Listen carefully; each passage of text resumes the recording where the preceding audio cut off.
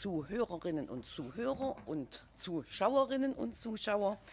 Wir haben heute wieder einen Livestream der Fraktion geschaltet. Es geht uns heute um das Thema ärztliche Versorgung im ländlichen Raum.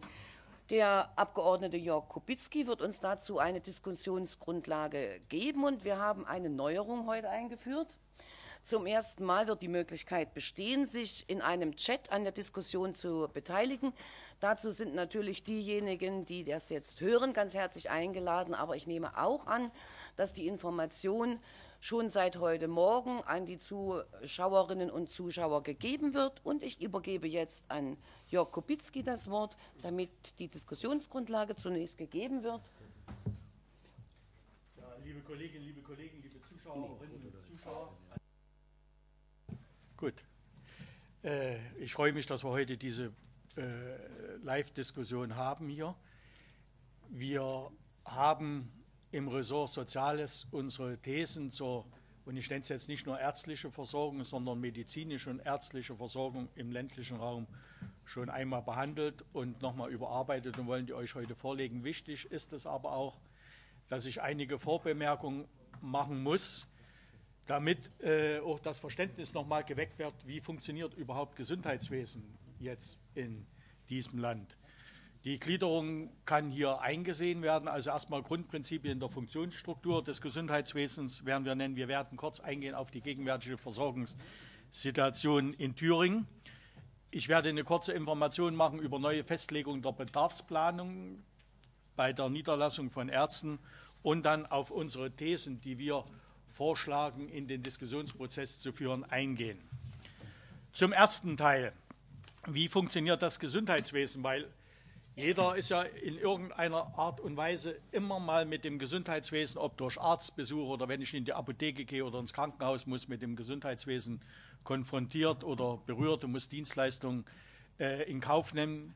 Und äh, viele fühlen auch bestimmte Auswirkungen des Gesundheitswesens und denken dann, na dann Politik, dann entscheide mal und mach mal. Aus dem Prinzip möchte ich jetzt äh, grundsätzlich darlegen, dass das Gesundheitswesen in diesem Land, in dieser Republik äh, gekennzeichnet ist durch das Prinzip der Selbstverwaltung. Und das ist nicht nur im Bereich Gesundheitswesen so, sondern im gesamten Bereich des, der Sozialsysteme in dieser äh, Bundesrepublik. Das heißt also, es gibt Selbstverwaltungsorgane in den Sozialversicherungen, aber auch bei den einzelnen Bereichen des Gesundheitswesens, die im Prinzip äh, oder getragen werden durch die Akteure im Gesundheitswesen selbst. Als Organe der Selbstverwaltung möchte ich kurz nennen, da haben wir einmal den Bundesverband der Krankenkassen auf der Bundesebene, dieser Bundesverband regelt insbesondere die Rahmenbedingungen für den Wettbewerb und Qualität und Wirtschaftlichkeit der Versorgung. Und dann gibt es den gemeinsamen Bundesausschuss und in dem gemeinsamen Bundesausschuss sind im Prinzip die Selbstverwaltung der Krankenkassen Mitglied und die Selbstverwaltung der Beteiligten an der medizinischen Versorgung, insbesondere die Ärzte. Und das müssen wir wissen. Eben zum Beispiel dieser Bundesausschuss legt zum Beispiel die Leistungskataloge fest der legt fest, was ist äh, notwendige medizinische Versorgung, was sind Zusatzversorgung und dieser Bundesverband legt die Leistungen fest, die durch die gesetzlichen Krankenkassen im Prinzip vergütet werden. Also das muss man an dieser Stelle erstmal wissen.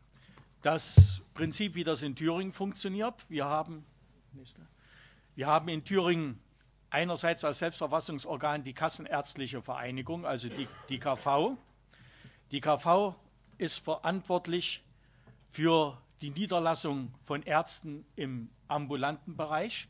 Also ich will das jetzt noch einmal sagen, wenn jetzt äh, in den Ort ein Arzt fehlt, dann kann zwar der Ort sich bemühen, einen Arzt zu bekommen, aber die Niederlassung und die Zulassung muss durch die Kassenärztliche Vereinigung erfolgen.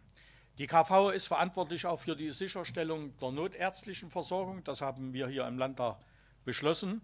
Und die Kassenärztliche Vereinigung ist so verantwortlich für die Vergütungsverhandlungen mit den Kassen über die ärztlichen Honorare.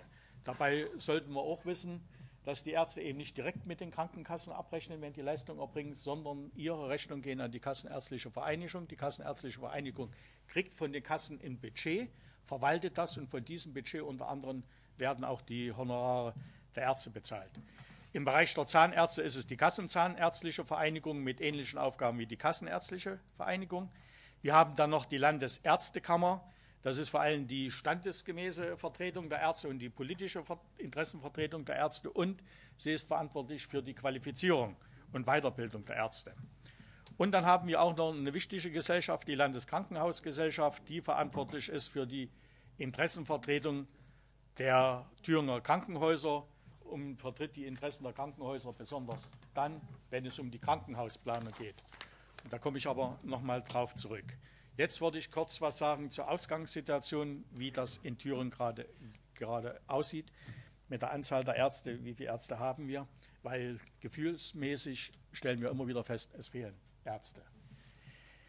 Was den Bereich der Krankenhäuser betrifft, müssen wir feststellen, von 2012 bis äh, von 2000 bis 2012 ist die Zahl der Ärzte um 38 Prozent gestiegen, von 3.490 auf 4.827 Ärzte. Auf die Quellen, die wir uns berufen, kann man nachlesen, Landesärztekammer Thüringen und die KV. Ähm, also im Krankenhausbereich haben wir einen Ärzteanstieg. Wir wissen aber auch, dass viele Ärzte und wer sich in Krankenhäusern auskennt, durch Besuche oder selbst schon mal im Krankenhaus war, viele Ärzte kommen nicht aus unserem Raum, sondern kommen vorrangig auch jetzt schon aus dem Ausland und vor allem aus den osteuropäischen Ländern. Und teilweise Ärzte von uns gehen weiter westwärts zur Arbeit. Also hier haben wir auch da eine Verschiebung. Was die Hausärzte betrifft, die Zahl der Hausärzte ist von 2000 bis 2012 um ca. 12, äh, 12 Prozent gesunken, von 1640 auf 1466 ist das gesunken. Und Ärzte im ambulanten Bereich ähm, haben wir insgesamt in Thüringen 3385 Ärzte und davon 1054 Allgemeinmediziner und 2331 als Fachärzte kann, wie gesagt, nachgelesen werden. Wichtig ist auch für die Zukunft die, Art, äh, die Altersstruktur der Ärzte. Und da müssen wir feststellen, Ende 2010 waren 590 Hausärzte und 606 Fachärzte über 50 Jahre alt, wo wir also damit rechnen müssen, dass die innerhalb der nächsten 15 Jahre ihre Praxis und ihre Tätigkeit aufgrund ihres Alters aufgeben werden. In Thüringen sind derzeit, das muss ich aber sagen, das sind jetzt alte Zahlen. Ich werde dann auch erläutern, warum es jetzt neue Zahlen gibt, aber alte Zahlen, weil wir eine neue Bedarfsplanung nämlich haben. Derzeitig sind, fehlen in Thüringen oder sind Arztsitze offen, 218.000 Hausarztsitze, 28 Facharztsitze und 43 äh, Psychotherapeutensitze sind offen in den Planungsbereichen, wie wir sie bisher haben, in den Landkreisen, aber ab 1. Januar gibt es neue Planungsbereiche, sage ich dann noch, existiert keine Unterversorgung. Auch wenn wir das und die Bürger das anders fühlen, müssen wir an der Stelle sagen. Es gibt eine drohende Unterversorgung im Bereich der Augenärzte im Unstrut-Heinig-Kreis, im Landkreis Goda. Und in einzelnen Bereichen gibt neun Bereiche, wo ein Bedarf an Hausärzten und acht Bereiche bei Fachärzten äh, sind. Aber das sind jetzt nicht die Versorgungsstrukturen, sondern das sind einzelne Orte, wo gegenwärtig Ärzte fehlen. Es gibt, und darüber möchte ich noch informieren, ab 01.01.2013 neue Festlegung der Bedarfsplanung. Und das ist über den Bundes, durch, den Bund, durch den Bundesgesetzgeber mit dem Versorgungsstrukturgesetz im Prinzip gekommen. Bisher hatten wir in Thüringen als Versorgungsbereiche 20 Landkreise. Jetzt haben wir 34 Mittelbereiche neu. Die können hier vorne auf der Tafel eingesehen werden. Die erläutere ich jetzt nicht.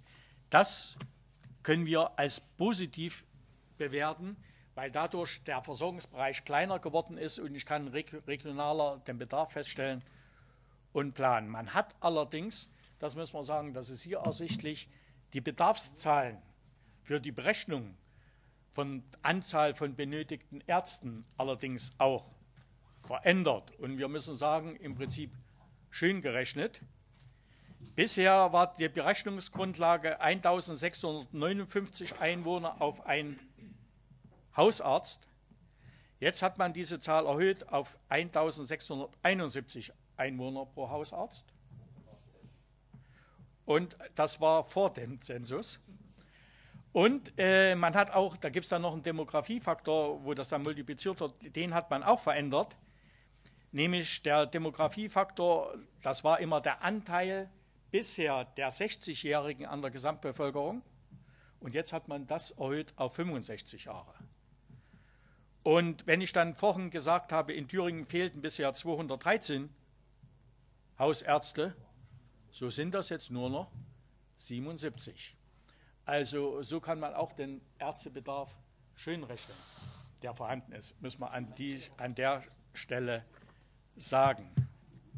Äh, ein, das nächste, was ich noch gezeigt habe, nur zur Information, sind jetzt in den, nach der neuen Bedarfsplanung, hier sind die neuen Versorgungsbereiche in dieser Tabelle enthalten, die erläutere ich jetzt nicht.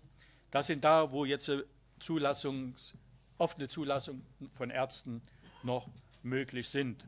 Und wenn ich jetzt meinen Heimatbereich hier feststelle, zum Beispiel Mühlhausen, wir sind ausreichend versorgt mit Ärzten, zumindest nach dieser Berechnung jetzt gefühlt, ist das aber ganz, ganz anders. Und nun zu unseren Lösungsvorschlägen in Form von Thesen. Und bevor ich aber zu unseren komme, möchte ich noch mal ganz kurz erläutern, was die Landesregierung bisher gemacht hat. Maßnahmen der Landesregierung. Es gibt also die Stiftung zur Förderung ambulanter ärztlicher Versorgung. Stiftungsmitglieder der Freistaat Thüringen und die Kassenärztliche Vereinigung. Und die vergeben zum Beispiel Stipendien zur Weiterbildung von Fachärzten und der Allgemeinmedizin und geben auch Darlehen aus, wenn sich ein Arzt hier in Thüringen niederlässt, ein junger Arzt. Sie betreiben auch in Gotha und in Gräfenthal Eigeneinrichtungen, das heißt also angestellte Ärzte ähm, durch diese Stiftung. Es wurde weiterentwickelt und eingeführt der Lehrstuhl für Allgemeinmedizin. Es gibt die Koordinierungsstelle Allgemeinmedizin zwischen der Landesärztekammer und der Kassenärztlichen Vereinigung. Und das ging jetzt durch die Nachrichten, die, die sogenannte Gemeindeschwester als Modellprojekt im Landkreis Sömmerda, da hat sich jetzt der Bauminister damit ja in den Nachrichten hervorgetan, Vera genannt, also Versorgungsassistenz in der häuslichen Praxis. Gemeindeschwester. Ich möchte an dieser Stelle aber sagen, das hat, na, in Mecklenburg-Vorpommern hieß es Agnes, bei uns heißt es Vera hier in Thüringen. Das hat aber liebe Kolleginnen, liebe Kollegen, liebe Zuschauerinnen und Zuschauer, nichts mit der Gemeindeschwester zu tun, wie wir es mal vor 1989 kannten. Vor 1989 war das eine Gemeindeschwester, die war in der Kommune, im Dorf oder in der Stadt angestellt und hat medizinische, dahingehend medizinische Notversorgung geleistet und hat natürlich auch bestimmte Aufgaben des Arztes wie, wie Insulinspritzen, Verbände anfertigen und dergleichen Nachkontrolle wenn jemand mal einen Unfall hatte, musste genäht werden, gemacht. Also die hatte eine zusätzliche medizinische Ausbildung gegenüber einer normalen Krankenschwester. Diese Gemeindeschwester hier ist so vorgesehen, in der Regel angestellt bei einer Arztpraxis oder einem MVZ, hat einen Laptop bei sich und fährt im Auftrag des Arztes zu Patienten und macht dort Nachkontrollen, beziehungsweise über den Laptop dann, was möglich ist, konsultiert sich sie mit dem Arzt. Also sie macht vor Ort keine ärztliche Diagnose und dergleichen mehr, sondern sie macht eben sozusagen Kontrollbesuche und, eine, Erstdiagnostik und leitet das an dem Arzt weiter. Also das möchte ich an der Stelle sagen, das hat nicht mit Schwester Agnes oder sowas von früher, wie wir es kennen, mit der Schwalbe zu tun, die dann durch die Dörfer fährt. Das ist die Situation hier.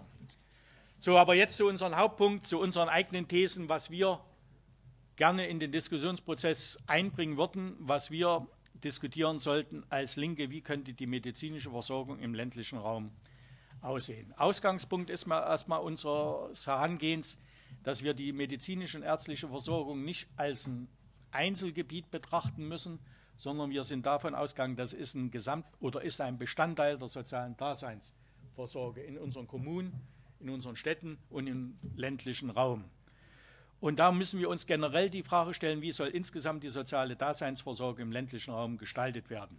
Auch spielt hier eine Rolle mit, wie gestalten wir zum Beispiel den ÖPNV, die Schulnetzplanung, die Kita-Struktur und weitere weiche Standortfaktoren. Ich möchte das aus dem Grunde sagen, dass das auch wichtig ist, weil ich einfach die Frage in den Raum werfen soll und möchte, Warum soll ein junger Arzt mit seiner Familie aufs Land ziehen, wenn gerade die Kita oder die Schule geschlossen wurde? Das müssen wir natürlich auch sehen, weil das ist auch was Standortfaktor, ob sich dort ein Arzt niederlässt oder nicht. Und wir müssen insgesamt noch klären die Rolle der Städte und des ländlichen Raums. Und wir müssen uns auch Gedanken machen über die Größe von Gemeindestrukturen. Warum? Das werden Sie dann noch merken, wenn ich unsere Thesen erläutere. Grundprinzip ist erstmal das, was wir vorschlagen. Und das hat jetzt nicht nur was mit der medizinischen Versorgung zu tun, sondern generell mit der sozialen Daseinsvorsorge, dass ich vorschlage, wir sollten in einer Verwaltungsgemeinschaft oder Landgemeinde, jedenfalls in einer Verwaltungsstruktur, die im ländlichen Raum ist, sollten wir Sozialzentren schaffen. Die Sozialzentren sind jetzt nicht zu betrachten als ein Gebäude, sondern als eine Institution, möchte ich an dieser Stelle sagen. Und das Sozialzentrum sollte im Prinzip Aufgaben haben, wo der Mittelpunkt und Ansprechpartner vorhanden sind für die Gestaltung des sozialen Lebens, Ansprechpartner für Vereine und Verbände. Dort sollten Räume zum Beispiel vorhanden sein, wo Vereinstätigkeit stattfinden kann, wo Sprechstunden von Vereinen und Verbänden gemacht werden können, also wo im Prinzip die Kommunikation der Menschen stattfindet, wo Vereinsarbeit durchgeführt werden kann, aber auch diese Sozialzentren dazu nutzen, dass an diesen Sozialzentren, und den Begriff haben wir bewusst gewählt, ein Landambulatorium angesiedelt werden kann. Und zum Beispiel kann auch in diesen Sozialzentren die Versorgung von Demenzkranken durchgeführt werden, Tagesgruppen eingerichtet werden, dergleichen mehr. Und ich hatte das eingangs gesagt, äh, Landambulatorien sollten dort mit angesiedelt werden. In diesen Sozialzentren, in diesem Verwaltungsgebilde arbeitet ein Koordinator für soziale Dienste. Und dieser vernetzt vor allem alle sozialen Angebote, die es in dieser Region gibt oder in diesem Verwaltungsgebild. Er ist Ansprechpartner für die Menschen in sozialen Angelegenheiten und er koordiniert die Beratung durch Behörden und Verbände und plant die Durchführung auch von Veranstaltungen. Mit dieser Planstelle, die wir dort schaffen wollen, ähm, die kann bei der Gemeinde angesiedelt werden, die kann bei einem sozialen Träger angesiedelt werden, kann auch, das möchte ich an dieser Stelle sagen, auch das Problem Pflegestützpunkte mitgeklärt werden, weil wir haben gegenwärtig ja in Thüringen nur vier Pflegestützpunkte. Aber hier könnten wir das Problem Pflegestützpunkt oder die Aufgaben von Pflegestützpunkten mit integrieren, weil es darum ja wirklich darum geht, die Menschen zu beraten, die vor der Pflegebedürftigkeit stehen oder Angehörige von Pflegebedürftigen, welche Angebote gibt es in der Region und die Vernetzung herstellen. So, und wir sollten bei der Schaffung dieser Stelle Koordinator für soziale Dienste, wie wir es hier nennen, auch in den Diskussionsprozess führen zur Finanzierung unser Prinzip der Sozialpauschale, was wir ja nicht aufgegeben haben. All das könnte zum Beispiel durch eine Sozialpauschale finanziert werden.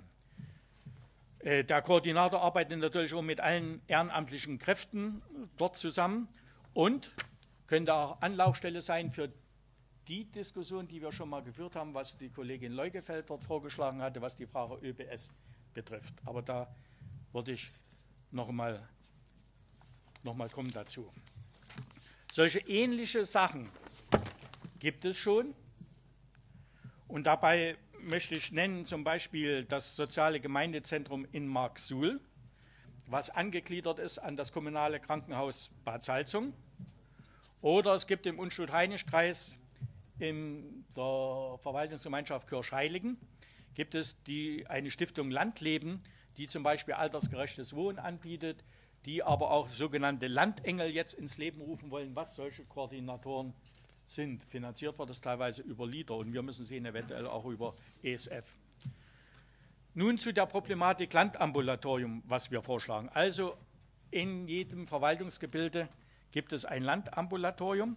Das Landambulatorium muss ich jetzt sein, das kann finanziert werden durch die Gemeinde, aber da sehen wir gegenwärtig Probleme, das hat mit der Finanzausstattung der Kommunen etwas zu tun, kann auch in Form eines medizinischen Versorgungszentrums, also eines sogenannten MVZs, erfolgen, kann angegliedert sein auch an einem Krankenhaus oder kann selbst durch Ärzte betrieben werden.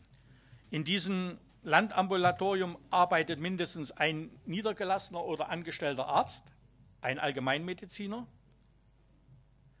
und es sollten in diesem Landambulatorium nach Möglichkeit auch zusätzliche Behandlungsräume, Praxisräume eingerichtet werden für Fachärzte.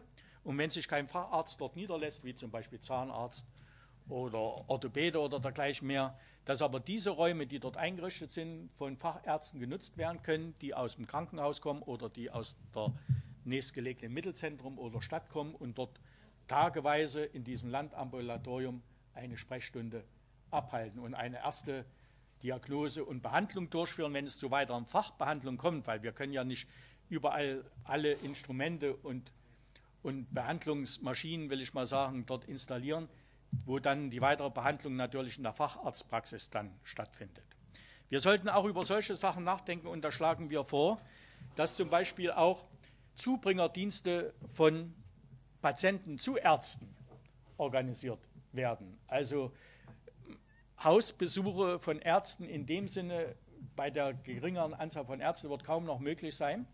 Deshalb sagen wir auch, dass zum Beispiel aus diesem Verwaltungsraum, aus den benachbarten Dörfern, die alle zu diesem Verwaltungsgebilde gehören, auch ein Zubringerdienst, sogenannter Patientenshuttle-Dienst, organisiert wird, der dann zu bestimmten Sprechstunden sozusagen die Ortschaften abfährt und fährt die Patienten in die Sprechstunde und dann wieder nach Hause, beziehungsweise auch in bestimmte Facharztpraxen, dann meinetwegen in die Kreisstadt. Da kommen wir aber zu der Problematik, wie gestalten wir den ÖBS im ländlichen Raum, beziehungsweise wie können wir zum Beispiel für, für so einen Shuttleverkehr auch, ich will mal sagen, Planstellen des öffentlichen Beschäftigungssektors dort nutzen. Äh, an diesem Landambulatorium könnten dann angesiedelt werden weitere medizinische Angebote. Dort könnten sich Apotheker niederlassen, weil wir wissen das.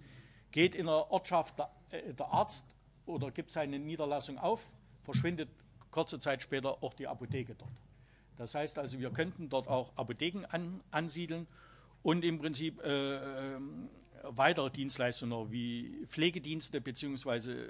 Physiotherapie. Wichtig ist, dass dazu natürlich auch in den Landgemeinden weiche Standortfaktoren geschaffen werden muss. Eine Stellschraube sollte auf alle Fälle auch sein, um Ärzte auf das Land zu bringen, neue Regelungen bei der Vergütung dieser Ärzte, die in diesem ländlichen Raum tätig sind, vor allem der Allgemeinmediziner, aber auch wenn sich Fachärzte niederlassen, weil die Vergütung der Landärzte sollte anders sein wie die Vergütung eines Arztes in der Stadt, weil er mehr Aufwand hat, größere Wege hat, auch zu den Patienten teilweise. Das sollte auch entsprechend vergütet werden. Ähm, auch wir sind für die Problematik und könnten uns das vorstellen, das System der Gemeindeschwester, wie das ausprobiert wird. Aber da sagen wir wieder, das muss eigentlich eine Gemeinschwester sein, die dann an diesem Landambulatorien angesiedelt ist und dann im Prinzip dann den Patienten zu Hause aussucht und bestimmte medizinischen Tätigkeiten wie Verbände zum Beispiel Spritzen geben und sowas durchführt.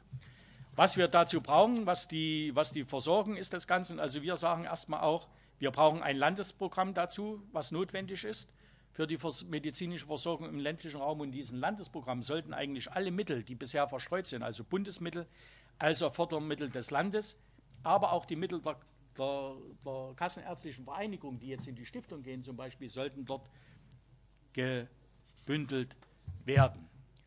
Ich möchte jetzt noch einen Punkt eingehen, weil der uns demnächst einholen wird, weil gestern hat, hatten wir es in den Fächern gehabt. Die Landesregierung wird das neue Krankenhausgesetz oder die Novellierung des Krankenhausgesetzes bringen. Auch Krankenhäuser gehören zur medizinischen Versorgung. Und ähm, das würde ich gern vorschlagen, die Krankenhausplanung. Aber das hat Diskussionsprozess, weil wir, oder ist ein Diskussionsprozess, weil wir auch demnächst klären müssen mit der Krankenhausplanung, mit dem Krankenhausgesetz zum Beispiel, muss jedes Krankenhaus, jede Fachabteilung vorhalten. Wie groß muss eine Fachabteilung in einem Krankenhaus sein, damit sie auch effektiv arbeitet. Also das sind Strukturfragen. Mein Vorschlag ist, wir haben vier Thüringer Planungsregionen. In, jedem, in jeder Planungsregion gibt es ein Krankenhaus mit überregionalem Versorgungsauftrag und spezialisierten Fachabteilung. Also zu, grundsätzlich Grundversorgung wird angeboten, Notfallversorgung wird angeboten, aber dann gibt es hochspezialisierte Fachabteilungen, zum Beispiel Unfallchirurgie, Orthopädie, ähm, kann Kardiologie sein, kann Gefäßchirurgie sein, so will ich das mal sagen, Herzchirurgie oder Neuchirurgie. Und die weiteren Krankenhäuser, die es dann in dieser Planungsregion gibt, bieten an die Grundversorgung und die Notversorgung. und spezialisieren sich dann nur noch auf wenige Fachabteilungen. Das heißt also, die Krankenhäuser müssen untereinander absprechen, welche Fachabteilungen werden vorgehalten. Das heißt also, nicht jedes Krankenhaus muss eine Orthopädie haben. Nicht jedes Krankenhaus muss eine Kardiologie haben. Und ich sage das hier auch bewusst, das ist meine Meinung. Nicht jedes Krankenhaus muss auch Kinderheilkunde anbieten. Aber wenn jedes Krankenhaus in der Region spezielle Fachabteilungen anbietet, dann könnte es uns gelingen, dass auch keine Krankenhäuser wegen irgendwelchen finanziellen Notsituationen oder dergleichen geschlossen werden. Aber darüber müssen wir reden, weil das ist natürlich ein Diskussionsprozess, der dann auch bei der Bevölkerung geführt wird. Weil heute ist es nicht mehr, wie oft die Diskussion führt, die Bettenzahl eines Krankenhauses ist entscheidend. Das ist alles Quatsch. Bettenzahl spielt heute eigentlich gar keine Rolle mehr. Heute geht es noch um Fallzahlen. Und da geht es darum, wie viele OPs zum Beispiel in einem Krankenhaus durchgeführt werden. Das ist das Entscheidende, nicht wie viel, wie viel, wie viel, wie viel Betten drin, drin stehen. Dass das nicht unser Ding ist, wie das mit den Fallzahlen funktioniert, das wissen wir. Hier geht es jetzt erst einmal aber meiner Meinung nach um strukturelle Fragen.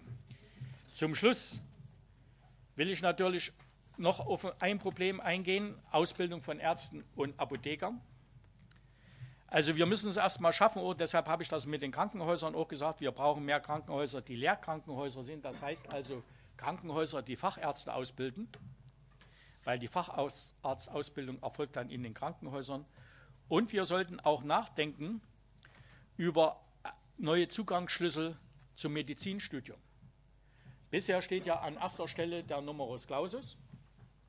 Montgomery, hier der Chef der Bundesärztekammer, hat, spricht jetzt von einem Eignungstest für Studienbewerber, aber nachdem wir unsere Thesen schon fertig hatten, muss ich an dieser Stelle sagen, ist sowas ähnliches wie was wir vorschlagen.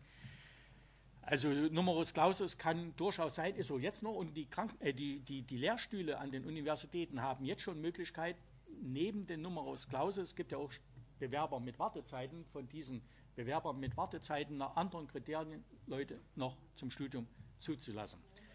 Und, und wir sagen, dass zum Beispiel ähm, Studienbewerber zum Arztstudium, die schon berufliche Erfahrung haben, zum Beispiel die schon in der Arztpraxis gearbeitet haben, die als Rettungssanitäter gearbeitet haben und dergleichen mehr, die auch schon etwas älter sind, dass die bessere Zugangsmöglichkeiten zum Studium haben, dass die bei der Zulassung stärker berücksichtigt sind, weil ich ganz einfach die These vertrete, wer hier schon wohnt und hat sich was aufgebaut und hat auch eine Familie, der bleibt auch in Thüringen und ist bereit, in Thüringen zu, zu arbeiten.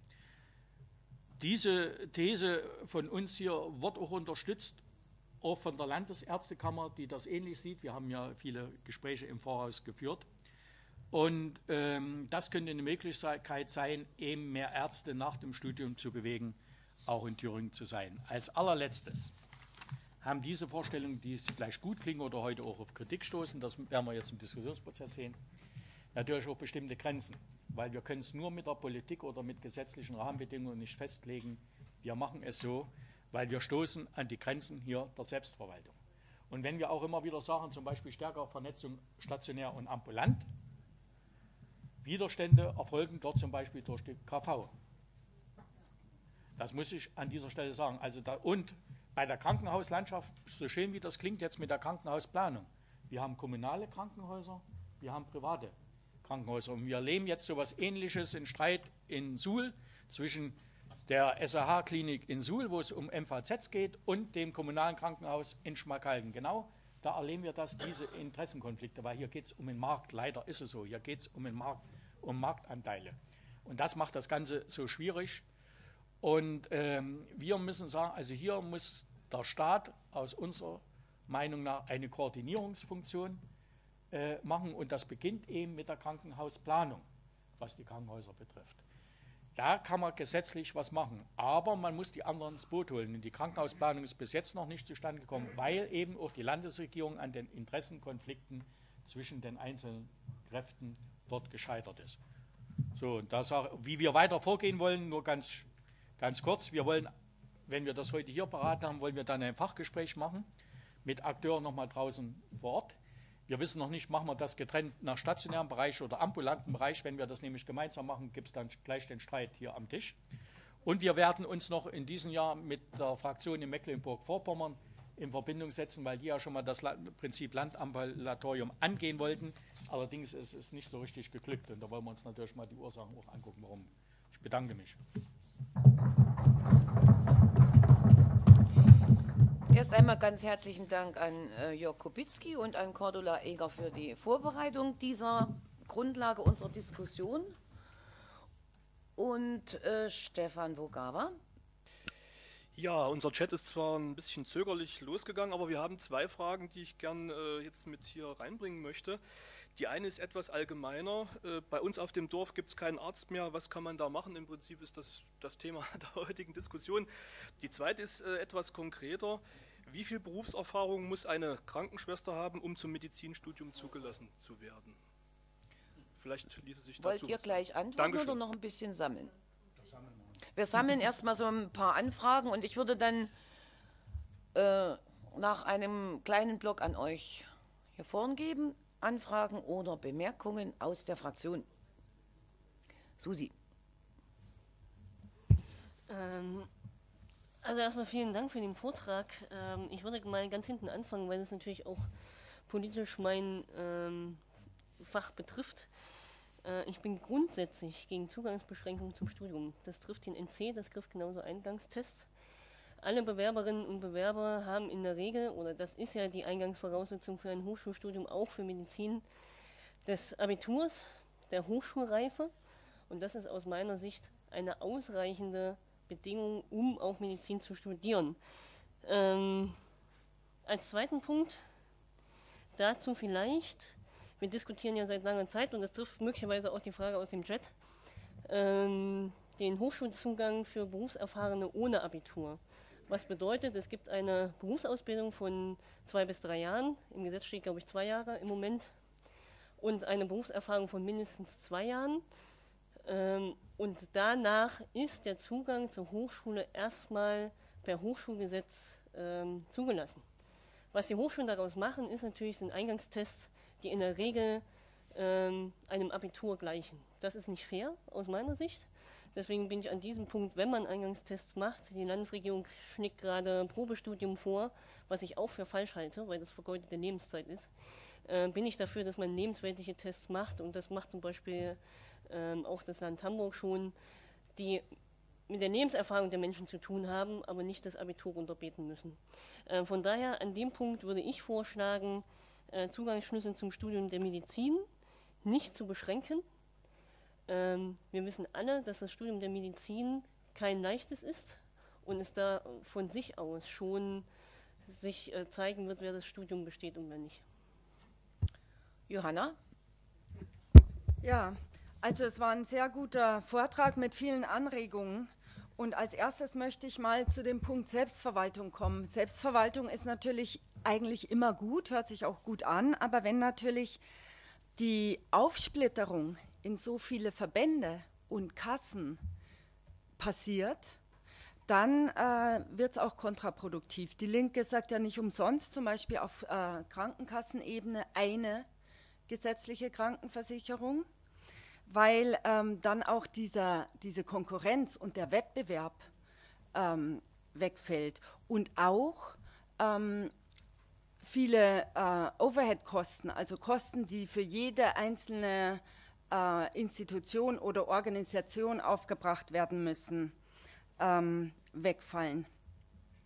Ich möchte auch unterstützen, dass der Numerus Clausus aufgehoben oder zumindest angehoben wird, weil ich glaube, dass die Realität in unserem Land schon so ist, dass oft der, die, die Berufswahl Arzt aus Prestigegründen gemacht wird und auch Einkommenserwartungsgründen. Und dann ist man nämlich wieder beim Landarzt, wo man sagt, da kann man aber nicht so wirklich viel verdienen. Deswegen wollen wir nicht Landarzt werden. Und da muss sozusagen dieses ganze Image etwas verändert werden. Da hast du gute Vorschläge gebracht. Auch äh, Menschen, die schon im medizinischen Bereich arbeiten und Berufserfahrung haben, dass die leichter Zugang zum Studium haben, sodass der Beruf Arzt auch wieder Berufung wird. Mehr Berufung als zu sagen, Prestige und Einkommenserwartung werden damit ähm, erfüllt. Mir hat auch gut gefallen, was du diskutiert hast mit den Fragen zum Beispiel Landambulatorium. Ähm, ich sehe aber da schon das Problem, dass wir da grundsätzlich die Abrechnungssysteme verändern müssen oder das Abrechnungssystem grundsätzlich verändern müssen, sodass zum Beispiel es eben möglich wird, dass ähm, Sprechstunden in diesem Land ambulant Obligatorium äh, gehalten werden oder auch, dass auch Hausbesuche wieder möglich werden. Weil wir haben ja schon in den, äh, auf dem Land, in den ländlichen Regionen das Problem, dass zum Beispiel der ÖPNV, das hast du auch angesprochen, ausgedünnt wird. Und dass die Leute, die jetzt nicht so akut krank sind, dass sie äh, den Rettungswagen holen müssen, das Problem haben, wie kommen sie zum Arzt. Das muss aber auch finanziert werden. Und eine, einen Punkt äh, möchte ich noch ansprechen, da würde ich dir ein bisschen widersprechen mit der Kinderheilkunde, dass das nicht in jedem Krankenhaus passieren muss. Da würde ich mir auch äh, nochmal äh, von eine breite Diskussion wünschen und das ist vielleicht auch möglich ähm, in der Anhörung, weil meiner Ansicht nach ist es ja gerade so, wenn Kinder krank werden und du verlegst sie dann weit weg, Kinder brauchen äh, auch eine, für, ihre psychologische, äh, für ihr psychologisches Wohlbefinden eine Nähe zu ihrer vertrauten Umgebung. Und deswegen würde ich dafür plädieren, Kardiologie und so weiter kann man zentral machen, Kinderheilkunde würde ich eigentlich vor Ort lassen, würde ich nochmal in die Debatte bringen. Ja, Jörg möchte gleich selber antworten. Ja, da Kannst ich jetzt du die mal, Fragen aus dem Chat gleich mit? Ja, ich fange bei den Fragen aus, den, aus dem Chat an und komme dann zu denen gleich, was Susanne gesagt hat. Zulassung einer Krankenschwester zum Medizinstudium, wie viel Berufserfahrung muss er haben? Dazu müssen Kriterien für solche Sachen festgelegt werden bei den, bei den Studienvoraussetzungen und Studienzulassungen. Bei dieser Diskussion und was Susi gesagt hat, keine Beschränkungen bei der Zulassung zum Studium. Ich möchte aber nur hier einwerfen, das will ich nur jetzt in den Diskussionsprozess einwerfen, wo wir darüber nachdenken müssen. Da werden wir auch streiten müssen. Es hat schon mal irgendein Politiker, ich glaube, das war aus den Reihen der FDP, so einen Vorschlag schon mal gemacht. Ich habe den Diskussionsprozess draußen erlebt. Erstens haben wir es hier mit Ständen zu tun. Bei den Ärzten möchte ich an der Stelle erst mal sagen. Zweitens sind Ärzte aber auch Menschen, wo wir als Patienten uneingeschränktes Vertrauen ja in die haben.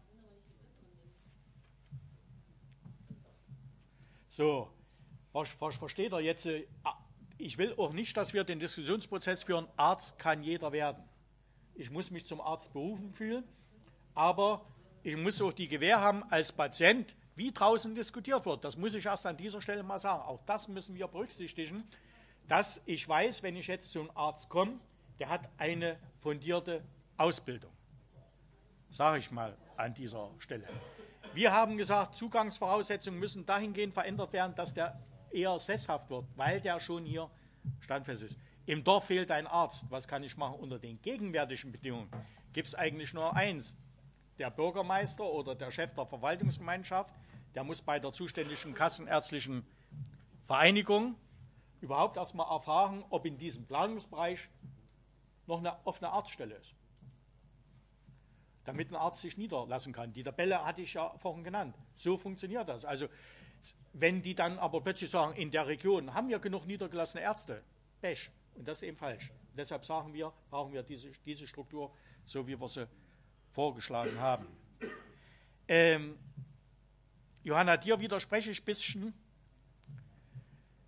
Müssen wir aufpassen, wie wir damit umgehen. Eine gesetzliche Krankenversicherung werden wir nicht schaffen. Und die Menschen haben auch Angst wieder vor einer Krankenversicherung ala, wie das schon mal war. Es gibt nämlich auch, also ich bin sofort bei allen, wir brauchen weniger Krankenkassen. Dieser Prozess läuft schon, wir hatten mal über 400, jetzt sind wir bei 167. Das wird auch noch weniger werden. Aber es bestimmte Standeskrankenkassen, wie zum Beispiel die Knappschaft oder Innungskrankenkassen als solche Fachkrankenkassen, wird es weiterhin geben. Und wenn wir, gerade wenn man in der Diskussion mit Ärzten ist und sowas, äh, wenn wir zum Beispiel unser System der Bürgerversicherung übermitteln, denken viele, wir wollen die Einheitskrankenkasse haben. Bürgerversicherung ist nicht eine Einheitskrankenkasse. Bürgerversicherung ist, wie die gesetzliche Sozialversicherung Krankenkasse finanziert wird. Ja, das ist. Aber ich gebe dir dahingehend recht. Also vier, fünf Krankenkassen reichen, reichen vollkommen aus. Ähm, wir müssen ja bei dieser Sache auch noch eins bedenken. Das hatte ich vorhin nicht genannt. Wir haben es bei Ärzten mit der Freiberuflichkeit zu tun. Und das ist in bestimmten Bereichen für sie ein hohes Gut, freiberuflich zu sein. Also ich war beim, bei der, beim Zahnarztverbandstag in Hessen, die legen sehr hohen Wert auf die Freiberuflichkeit. Bei uns in Thüringen haben wir jetzt vor kurzem erst mit den Zahnärzten gesprochen, ist das schon wieder ganz anders. Ja, weil ich habe denen auch gesagt, und im niedergelassenen Bereich ist es teilweise bei Ärzten auch so. Freiberuflichkeit, ja, haben wir als Linke aus meiner Sicht nicht dagegen, aber man wird das Prinzip nicht halten können, weil sich nicht genügend Ärzte auch niederlassen wollen, weil vielleicht das Finanzrisiko so schwer ist. Also es wird dort eine Mischform geben. Was du ansprichst mit der Kinderheilkunde, den Diskussionsprozess werden wir noch in diesem Jahr haben, wenn es an die Krankenhausplanung angeht. Wie groß muss eine Fachabteilung sein? Will ich jetzt nur an der Stelle sagen. Gehst du zu den Krankenkassen und auch zu den leitenden Krankenhausärzten, die, die sagen, wir brauchen Fachabteilungen, die müssen 365 Tage im Jahr besetzt sein. Und dazu brauchen die genügend Fachärzte. Und das müssen mindestens fünf Fachärzte sein, um den Dienst abzudecken.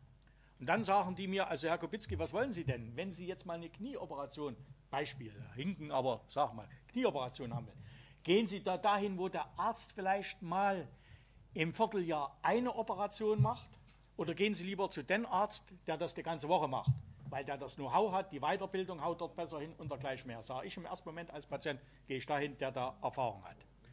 Gehst du zu den Krankenhäusern, sagt ja der Krankenhausverwaltungsleiter, also Herr Kubitzki, alles Quatsch. Mit drei Ärzten können wir die Abteilung auch aufrechterhalten. Wir haben ja Rufbereitschaft. Zweitens haben wir noch Ärzte in anderen Abteilungen, wenn mal Notfall ist. Und der Arzt, der im Quartal nur dreimal so eine Operation durchführt, der geht viel gewissenhafter ran, weil der alles richtig machen will, wie der, der das als Routine macht. Mit diesen Fragen wirst du, wirst du dann im Prinzip konfrontiert. Aber uns sollte es darum gehen, was ist für den Patienten gut? Und vor allem auch, es geht darum, können wir unsere Krankenhäuser erhalten. Wenn ein Krankenhaus alle Fachabteilungen vorhält, das sage ich mal, das schafft das bei der Krankenhausdichte, wie wir sie in Thüringen haben, nicht. Da gehen Krankenhäuser krachen. Und das muss nicht sein. Das sollten wir verhindern. Wir brauchen eine flächendeckende Grundversorgung der Krankenhäuser. Und ich sage, wie gesagt, und Kinderheilkunde, gebe ich dir recht. Wenn wir das aber in den Planungsregionen machen, sind die Wege auch nicht so groß. Und Kinderheilkunde meine ich unter anderem auch, ich habe selber mal im familiären Bereich erlebt, mein Sohn ist mal operiert worden und lag mit einem 80-jährigen Opa dann der, in dem Zimmer in der Chirurgie. Das hat nun mit Psyche für Kinder nun gar nicht, gar nicht zu tun. Also über solche Sachen, über solche Sachen muss man eben mal nachdenken. Das wird ein Diskussionsprozess sein. Da, da wird es harte Diskussionen geben, bin ich mir bewusst. Äh, nur mal eine Zwischenfrage. Warum sind denn die Planungsregionen quantitativ erweitert worden? Warum sind es mehr geworden? Weil überall geht ja der Prozess zur Zentralisierung von äh, Einrichtungen hier in kleinere Regionen. Also das ist jetzt hat nicht mit Krankenhäusern zu tun, hat mit der Niederlassung der Ärzte was zu tun. Kannst du das vielleicht nochmal anwerfen? Diese Karte ist das. Wir hatten das bis jetzt ja, also ich finde es als was Positives an dass die Regionen kleiner geworden sind, finde ich als positiv an, weil ich hatte einen großen Landkreis und da eine gewisse Anzahl X Ärzte, die dort zugelassen werden. Da ist mir doch gar nicht gekonnt, wenn diese Ärzte alle in der Kreisstadt sind. Und in den, in den ländlichen Räumen weniger Ärzte. Habe ich jetzt diese Planungsregionen oder Planungsbereiche kleiner gemacht, habe ich ganz andere Berechnungsgrundlagen für die Niederlassungsmöglichkeiten in diesen etwas kleineren Regionen. Region. Also ich finde das als im Prinzip ein Vorteil an. Negativ finde ich an, dass man diese Demografiezahlen hochgesetzt hat. Ja. Auf meiner Liste stehen jetzt Thilo, Margit und Susi. Unter Chat. Den Chat zwischendurch, dann machen wir das. Thilo, wir lassen mal kurz äh, die Fragen aus dem Chat. Ja, vielen Dank. Wir haben also auch noch hier noch mal eine Frage, und zwar, ob Gemeinden selber Krankenschwestern anstellen können und dürfen und wer gegebenenfalls dort ähm, das finanziert. Gut, Thilo. Ja, auch von mir erstmal vielen Dank für die Arbeit zu einem ja doch sehr wichtigen Thema im ländlichen Raum. Ich finde es erstmal gut, dass ihr die Pflege mit eingebunden habt, weil ich denke, die Zahl der Menschen, die sagen, ich möchte in meinem Dorf auch alt werden können, meinen Lebensabend genießen, auch wenn ich Hilfe brauche, die ist recht hoch. Und äh, vielleicht muss man da sogar noch überlegen, äh, wie man über diesen Pflegestützpunkt, der ja Beratung, Anleitung zur Pflege gibt, äh, vielleicht noch ein Stück weit hinaus äh, überlegen kann, dass man vielleicht auch die Möglichkeiten der Pflegeversicherung äh, nutzt und äh, bündelt, dass wenn es in den Dörfern Menschen gibt, die andere pflegen, die vielleicht nicht nur ein, sondern zwei, drei Menschen pflegen, sodass das dann insgesamt auch irgendwo äh, ein Stück weit mehr Möglichkeiten offeriert und dass sowas an so einem Stützpunkt koordiniert wird. Was ich zu der Frage Krankenhäuser noch sagen wollte. Wir hatten die Diskussion ja hier schon mal um den Krankenhausplan. Äh, da hatte ich die Frage gestellt, äh, wieso nicht auch der Versorgungsauftrag an eine Erreichbarkeit in einer bestimmten Zeit gekoppelt wird bei bestimmten Dingen. Also ich hatte das am Beispiel Gynäkologie angesprochen, weil äh, damals strittig war, ob in Hildburghausen die Abteilung aufrechterhalten werden soll. Und für mich dann die Frage stand, ja, wenn ich dann 20 äh, Minuten, 30 Minuten oder eine halbe Stunde länger fahren muss äh, in das nächste Krankenhaus, wie äh, geht das, wenn's, wenn man es manchmal eilig hat? Und es gibt ja bestimmte Dinge, wo man es auch manchmal wirklich eilig hat. Das wäre für mich ein Punkt. Bei der Feuerwehr haben wir äh, verpflichtende Erreichbarkeiten äh, ob man solche Dinge nicht für einzelne Fachabteilungen eventuell mit festlegen sollte. Eine andere Geschichte, äh, du hattest gesagt, dass wir äh, darüber nachdenken, in der regionalen Planungsgemeinschaft ein Krankenhaus mit Vollfunktion, also mit äh, allen Fachabteilungen zu haben. Nee, mit hochspezialisierten. Ja, naja, die Frage ist, ob man nicht alle hochspezialisierten notwendigen Abteilungen innerhalb der regionalen Planungsgemeinschaft vorhalten sollte. Also ich würde es lieber so verstanden haben, dass es durchaus mehrere Krankenhäuser geben kann, die sich das einteilen. Es muss aber in der regionalen Planungsgemeinschaft drauf geguckt werden, dass also alle äh, notwendigen Abteilungen da sind in einer bestimmten Erreichbarkeit. Das kann sich aber auf die verschiedenen Häuser, die man dort hat, äh, entsprechend aufteilen. Also ich möchte mir nicht den Streit in der regionalen Planungsgemeinschaft Südwestthüringen vorstellen zwischen Meiningen, Suhl und Eisenach, wer jetzt welche äh, entsprechende Abteilung dann dort vorhalten darf. Äh, als letztes, wir haben einen Klinikverbund bei uns in Hildburghausen. Ein kommunaler Klinikverbund. Ich bin auch sehr dankbar dafür, weil die Zusammenarbeit äh, schon eine ganze Reihe von Effizienzgewinnen mit sich gebracht hat, die das Überleben der kommunalen Krankenhauslandschaft ermöglicht. Was man dabei aber feststellen muss, ist, dass die Aufgabenwahrnahme eines Krankenhauses schon auch ganz massiv dafür sorgt, wie denn die Finanzen des Krankenhauses aussehen. Also ob das rentierlich ist oder nicht. Wenn ich sage, einen bestimmten Bereich gliedere ich bei euch aus und im Rahmen der Aufgabenverteilung wird der jetzt in einem anderen Haus wahrgenommen, dann kann das schon dazu führen, dass die finanzielle Leistungsfähigkeit des Krankenhauses massiv unter dieser Entscheidung leidet. Also ich glaube, da muss man auch drüber nachdenken, wie man dann einen gewissen Ausgleich schafft. Weil sonst können wir Häuser ruinieren, indem wir sagen, diese Abteilung geht bei euch weg, geht woanders hin. Äh, Margit, Susi und Ina würde ich jetzt noch dran nehmen und dann nochmal nach vorn geben und gegebenenfalls nochmal fragen, ob zwischendurch aus dem Chat noch Anfragen kommen. Ja, zwei Dinge. Einmal nochmal Zulassungsvoraussetzungen für das Studium. Ich glaube, ähm, einen Blick müssen wir haben, dass ich ähm, prinzipiell der Meinung bin, dass äh, für bestimmte oder für alle Berufe immer nur bestimmte Menschen geeignet sind, einfach von ihren Voraussetzungen.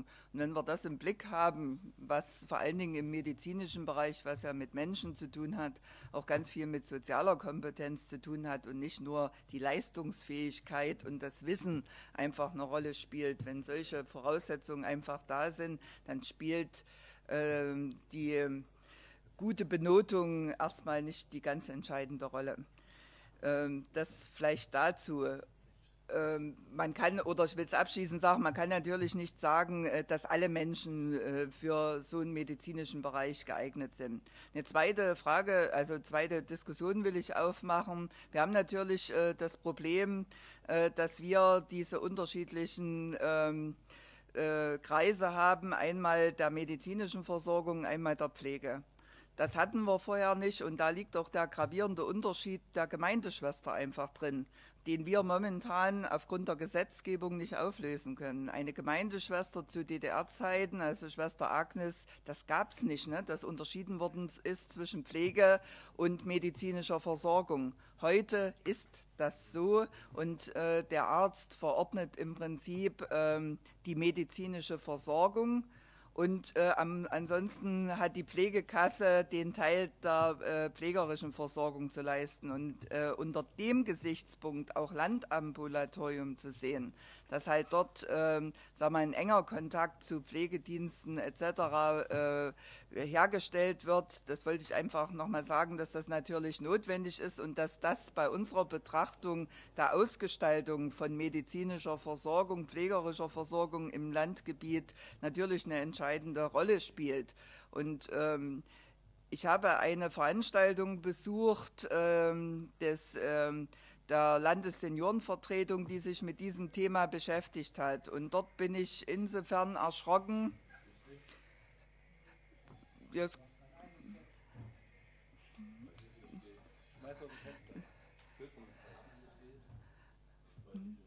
Da bin ich insofern äh, erschrocken, dass man äh, den Schwerpunkt äh, von bestimmten äh, Ministerien darauf legt, dass man die mit der Medizin verbundenen, medizinischen Versorgung immer mehr verbundenen Technik. Und das muss man ja einfach sagen, dass unsere medizinische Versorgung ganz massiv mit wissenschaftlich-technischem Fortschritt, also hochkarätischen Geräten verbunden ist. Und man will Busse, man will Kleinbusse, also äh, dort wurde eine äh, gynäkologische Station im Kleinbus vorgestellt. Also das erschreckt mich dann schon. Ne? Also wenn ich auf dem Land äh, von Ort zu Ort fahre und auf dem Parkplatz vor der Kaufhalle medizinisch versorgt werden soll, auch äh, in solchen Bereichen. Also und das äh, wollte ich noch mal sehr deutlich sagen, dass unser Landambulatorium oder dieser Vorschlag natürlich genau dem entgegensteht und wir das einfach anders organisieren müssen aus meiner Sicht. Ist ja dann auch immer die Frage von technischer Möglichkeit und menschlicher Zuwendung. Ne? Ina. Ja, also ich will erstmal vor, vorausschicken, dass ich auch finde, dass es äh, eine gute Diskussionsgrundlage ist.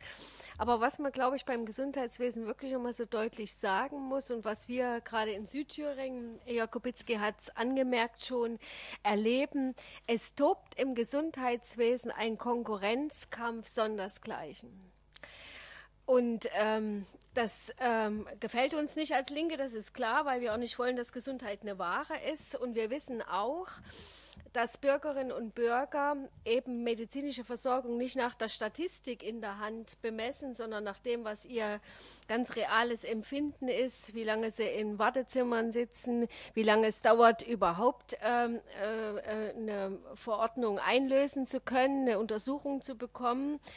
Und ähm, Deshalb ähm, denke ich, dass wir wirklich auch was die Krankenhauslandschaft im Kontext mit der ambulanten Versorgung angeht, ähm, wirklich nochmal ähm, äh, überlegen müssen, wie man das äh, günstig macht. Also ich äh, teile die Auffassung, die ja hier auch gesagt wurde, dass es in jeder Planungsregion ein Krankenhaus der medizinischen Schwerpunktversorgung geben muss.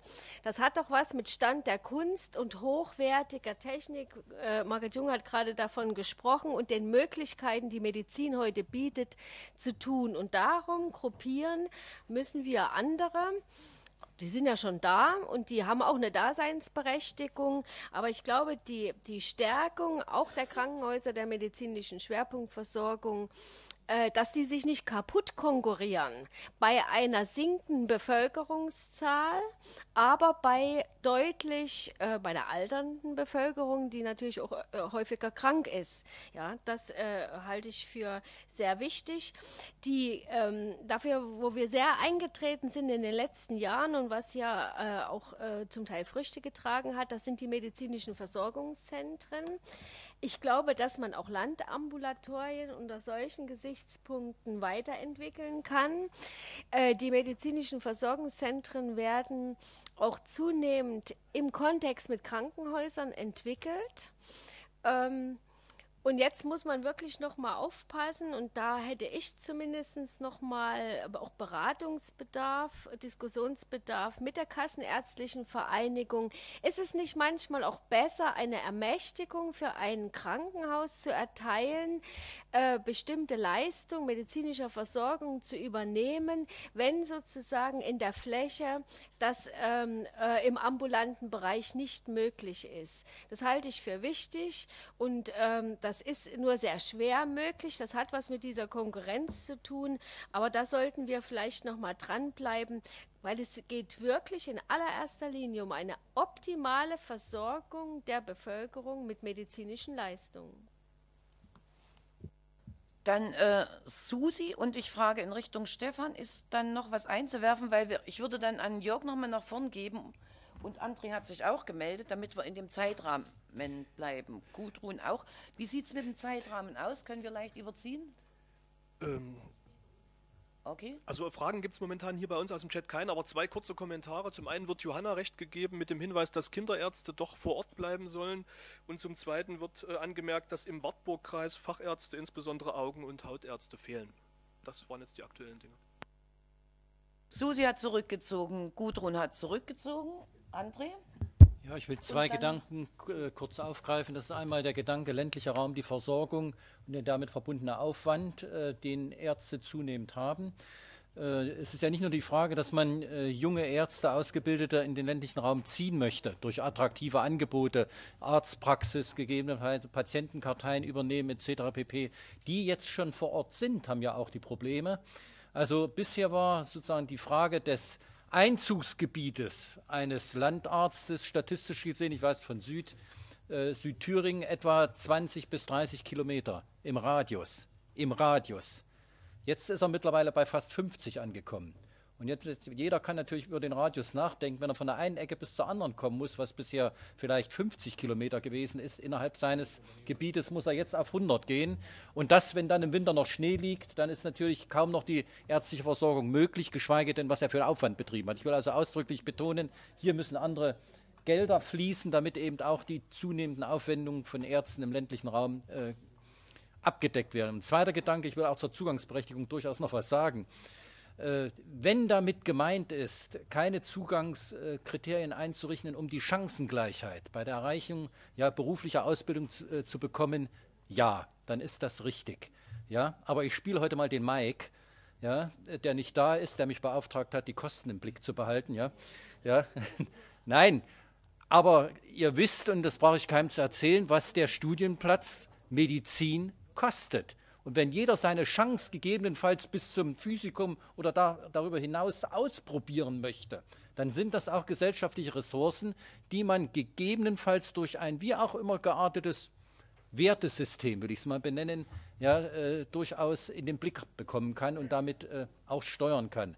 Ja, äh, die Abbruch- oder die, die Erreichungsquote, muss man ja wissen, das große, das Physikum 40 Prozent 40 Prozent erreichen nicht das erste Physikum zwei, also nach, nach äh, zwei Studienjahren, also nach dem vierten Semester. Also nein, äh, das hat doch damit gar nichts zu tun. Man soll es doch im Blick haben. Das ist genau die Reaktion, die Mike Huster immer nicht mag, wenn er auf irgendwas hinweist, indem er sagt, nehmt das bitte auch in Blick. Chancengleichheit ja, und dennoch müssen wir auf gesellschaftliche Ressourcen achten. Äh, jetzt, jetzt hätten wir die kontroverse Diskussion, die wir jetzt nicht mehr führen können, müssen wir also uns aufschreiben. Wobei ich muss einfach die Anmerkung noch gestatten. Noch mehr als der finanzielle Aspekt wäre mir die Frage äh, im Mittelpunkt zu stellen, ob ich ein Medizinstudium aus ständischen Gründen aufnehme und dann vielleicht es mir leisten kann, ewig lange zu studieren, oder ob ich es aus innere Berufung aufnehmen kann. Aber das ist tatsächlich ein weites Feld. Jörg, du darfst das Feld noch einmal abschließen. Ja, ich darf es abschließen, aber wir erkennen jetzt alleine aus diesem Diskussionsprozess, den wir jetzt schon haben, wie doch unterschiedlich die Meinungen sind und wie schwierig dieser Diskussionsprozess gerade auch für uns als Linke sein wird bei dieser Sache. Das ist mir auch heute klar gewesen und mir war auch klar, es wird unterschiedliche Meinungen geben. Aber wir werden das erste Mal mit uns diese Meinung stellen müssen, wenn wir das, die Novellierung des Thüringer Krankenhausgesetzes hier in der Fraktion diskutieren. Aber zu den einzelnen Fragen. Die eine Chatfrage war, kann jetzt schon eine Kommune oder ein Dorf eine Gemeindeschwester anstellen? Kann es nicht. Selbst wenn das Dorf jetzt das Geld hätte. Das Problem ist, welche Aufgaben hat dann diese Gemeindeschwester zu erfüllen und in wessen Auftrag erfüllt die. Also es geht um die Frage, wie wird eine Gemeindeschwester zugelassen, weil es muss alles festgeschrieben und festgestellt werden und jemand muss die Gemeindeschwester zulassen. Bis jetzt das, was Karius vorgeschlagen hat, oder dieses Modellprojekt in Sömmerda, das heißt, diese Schwester Vera muss an eine Arztpraxis oder an einen, an einen MVZ gebunden sein und muss immer im Auftrag des Arztes handeln. War zu DDR-Zeiten auch so. Die Gemeindeschwester hat das im Auftrag des Arztes gemacht. Die hat aber auch Notfallversorgung schon durchführen dürfen. Das durfte sie jetzt nicht zu dieser Frage. Was Thilo gesagt hat, mit der Pflege einbeziehen, genau das wollen wir mal, ist besonders im ländlichen Raum wichtig. Aber was genauso wichtig im ländlichen Raum sein wird, das ist, hat auch was mit sozialer Daseinsvorsorge zu tun. Welche Wohnform haben wir zukünftig auch für ältere Leute im ländlichen Raum? Da kann ich nur mal, führt jetzt zu weit, könnte ich euch das Projekt in Kirchheiligen vorstellen, die da sowas gemacht haben. Was Thilo noch gesagt hat, die Frage Kriterium Erreichbarkeit für Fachabteilung. Grundsätzlich, was Grundversorgung, Notversorgung betrifft, jedes Krankenhaus ist so nach dem Entwurf jetzt des neuen Krankenhausgesetzes verpflichtet, Patienten aufzunehmen. Das ist erstmal gut so. Und das muss auch so bleiben. Gerade deshalb sagen wir ja spezialisierte Fachabteilungen, damit die Wege nicht so weit werden. Wobei wir uns natürlich im Klar sein müssen, es wird hochspezialisierte Kliniken in Thüringen weitergeben, die Uniklinik in Jena, Zentralklinik in Bad Berger und dergleichen mehr. Also das kann auch kein Krankenhaus mit Schwerpunktversorgung erfüllen solche, solche, solche Aufgaben. Die, die wird es gehen. Was Abteilung Gynäkologie betrifft, nicht zu verwechseln mit hier Geburtenstation. Die sollte es ortsnah geben. Kinderärzte, was die Meinung jetzt im Chat war, ich meine nicht, dass es dass die Kinderärzte in den Planungsregionen aufgeteilt werden. Niedergelassene Kinderärzte muss es in jedem Versorgungsbereich, wie wir sie hier vorne haben, geben. Dafür ist die KV verantwortlich. Mir geht es um Abteilung der Kinderheilkunde. Das ist aber ein Streitprojekt, da können wir unterschiedlich, klar, möchte ich auch jeden Tag mein Kind besuchen im Krankenhaus. Aber manchmal müssen wir so die Frage, sind jeden Tag Besuchszeiten manchmal gut? Das wäre jetzt ein nächster Diskussionsprozess. Ich möchte mich bei Margit nochmal bedanken, die wirklich gesagt hat, wir wollen keine mobilen Arztpraxen hier. Zahn, der rollende Zahnarzt oder sowas. Also das wollen wir nicht. Wir wollen dann eher wir wollen eher, dass dann der Patient zum Facharzt gefahren wird. Okay? Und äh, das Letzte müssen wir sagen in diesem Diskussionsprozess. Jawohl, das sollte der abschließende Satz sein bei aller kontroversen Probleme, die auf uns drauf zukommen werden. Wir sollten als Linke immer sagen, und da bin ich bei Ina, für uns muss der Patient und die Versorgung des Menschen im Mittelpunkt stehen. Die ortsnahe, zeitnahe und qualitätsgerechte Versorgung der Menschen muss für uns im Mittelpunkt stehen. Und dazu brauchen wir Strukturen. Und für diese Strukturen muss die Politik Rahmenbedingungen schaffen. Und da müssen wir aber auch als Linke feststellen, wir müssen aber mit den Gegebenheiten jetzt schon leben, wie sie sind und müssen die Gegebenheiten durch politische Neugestaltung politischer Rahmenbedingungen verändern. Aber bei der Krankenhaussache, ich nenne nur den Südthüringer Raum wieder, wir haben in in Suhl das SRH-Krankenhaus, wir haben in Meiningen eine private Klinik und in Schmalkalden eine Kommunal. Das heißt, in einem Landkreis, Schmalkalden-Meiningen, haben wir zwei Krankenhäuser. Und die sind in Konkurrenz miteinander. Um so eine Krankenhauslandschaft hinzukriegen, wie wir sie hier vorschlagen, das ist ein breiter Diskussionsprozess und das wird auf Widerstände stößen. Das müssen wir an dieser, dieser Stelle sagen. Aber da müssen wir sagen, es geht um die Versorgung der Menschen vor Ort. Damit möchte ich es belassen. Ja, vielen Dank. Dann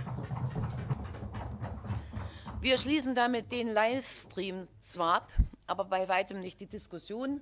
Es hat sich ja schon gezeigt, dass insbesondere in Vorbereitung auf die Krankenhausplanungsphase